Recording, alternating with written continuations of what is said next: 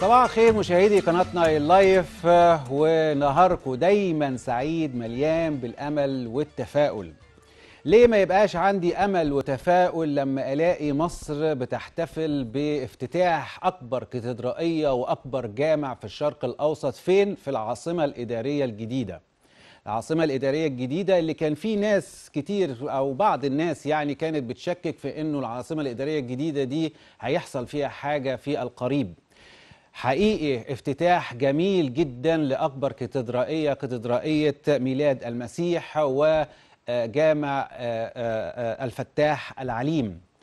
حقيقي افتتاح جميل جدا مبهر جدا. ليه ما يبقاش عندي أمل وتفاؤل لما ألاقي قداسة البابا تودروس بابا الأسكندرية وبطريرك القراسه القراسه المرقسيه بيلقي كلمة داخل الجامع أكبر جامع في الشرق الأوسط الفتاح العليم.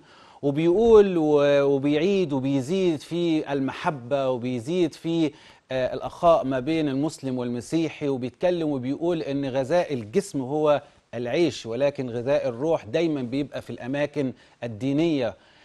ليه ما يبقاش عندي أمل وتفاؤل لما ألاقي فضيلة الإمام الأكبر الدكتور أحمد الطيب شيخ الأزهر بيلقي كلمة داخل الكاتدرائية ميلاد المسيح وبيتكلم عن إن واجب على كل مسلم إن هو يحافظ على مش بس الجامع يحافظ على الجامع وعلى الكنيسة ويحافظ كمان على المعبد اللي هو قصده المعبد اليهودي. يعني الأديان السماوية إن ربنا سبحانه وتعالى أمرنا إن إحنا نعترف بكل الأديان السماوية وكل الرسل والأنبياء اللي سبقوا الرسول عليه الصلاة والسلام.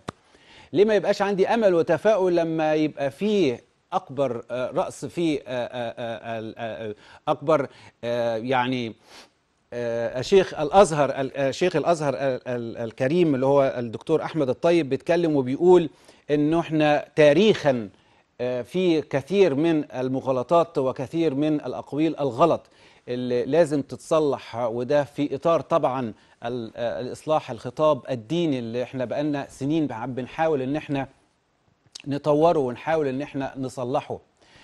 كل سنة وحضراتكم طيبين عيد ميلاد مجيد كل أقباط مصر ومسيحي مصر بكل خير بإذن الله تعالى على مصر وعلى الأمة الإسلامية. النهاردة 7 يناير 2019 سنة سعيدة علينا جميعا. اليوم كله النهاردة مليء بفقرات خاصة بالاحتفال بالعيد الميلاد المجيد.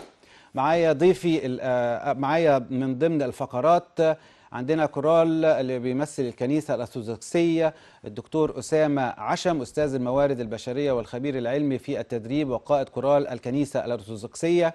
عندنا كمان فقرة خاصة بعنوان روح وعيد الميلاد المجيد مع الأستاذ يونان مرقس الكاتب والباحث في التراث القبطي.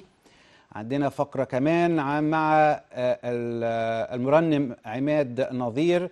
نظير.